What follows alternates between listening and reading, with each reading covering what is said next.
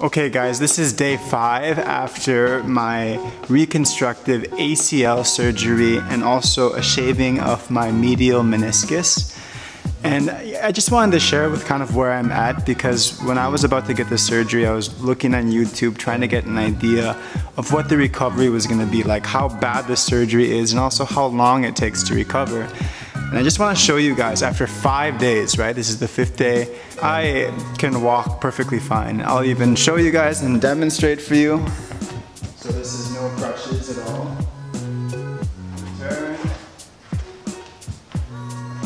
I don't even think it's that noticeable. I think that I'm walking pretty normal. So uh, how did I do it?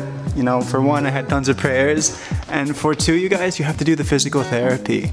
You have to ice it, you have to be disciplined, and you have to rest it as much as you can, especially in the first few days or first week where you have swelling. Okay, take care. Meniscus looks like, look.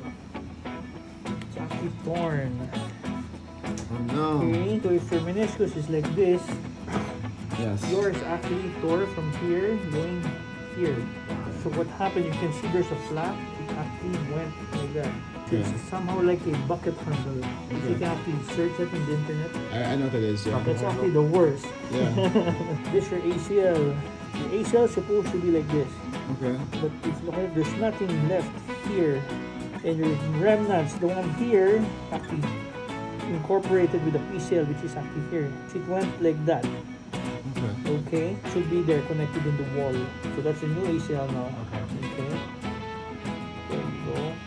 Once you put it inside it's there. This one now it's thick. And it's not connected in the wall. Definitely not. I could not walk right now. Thank you, bro, for coming. Where are we going? Okay, you guys. So I finished the surgery today.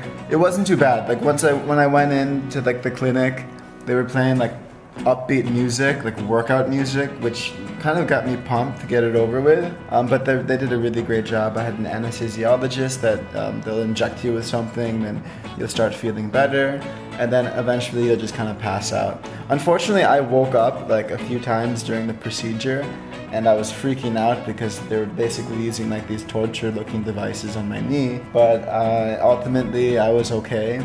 And after the procedure, you, you have like a spinal tap, you can't feel anything from the waist down. And so when you wake up from the procedure, it's really not that painful. But when, when it wears off, it's extremely painful on the first day. So what I figured out was you do not want to move around. Of course, you have to move around just to get out of the place and into your home. But once you get home, stay put. Like, just put up two pillows, put your foot up, and just accept that that is your life. So, here's what it looks like. This is basically my life for the next month or so. I don't even know.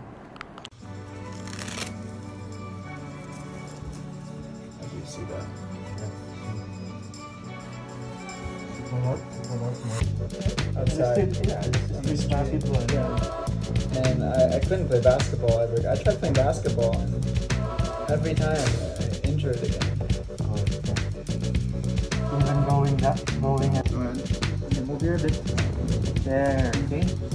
This one will be hard. You can feel your quads stand down. You can feel because it's hard. Yeah.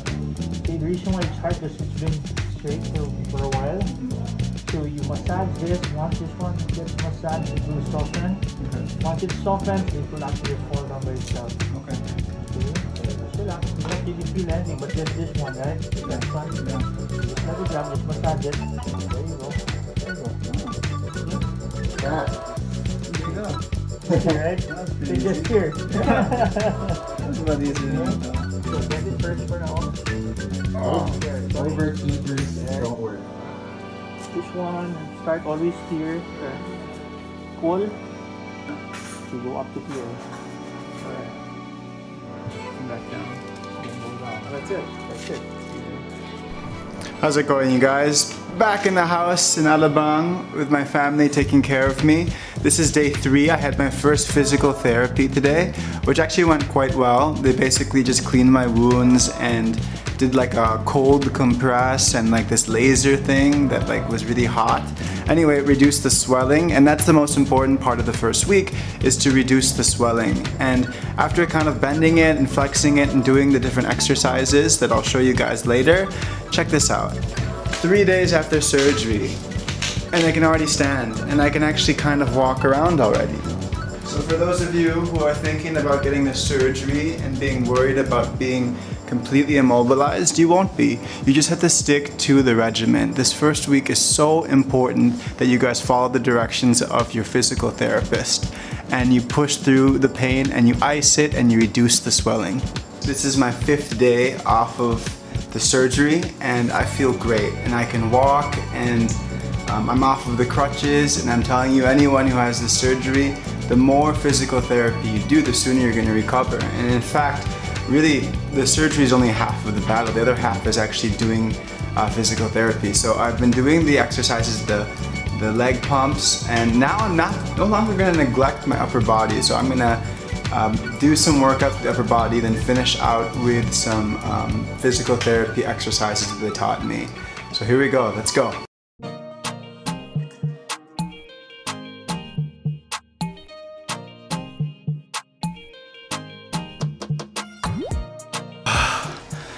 It's amazing to me is how it only takes like one week of no activity to fall completely out of shape. Anyway, um, we're gonna keep it keep it going, keep the workouts going. Okay, this next one is arguably the most important exercise. So for me, I injured my left leg. Um, this is just like your standard heel pumps, they call it. And all you're really doing is just moving your heel, your left heel, up like this.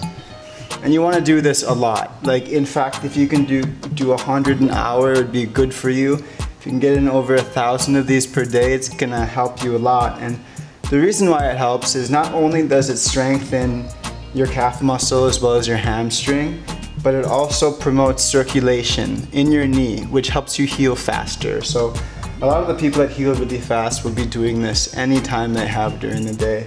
This next one's really simple. Your injured knee, you just lift up. And you should probably try to do about 20 of these per set and at least three reps.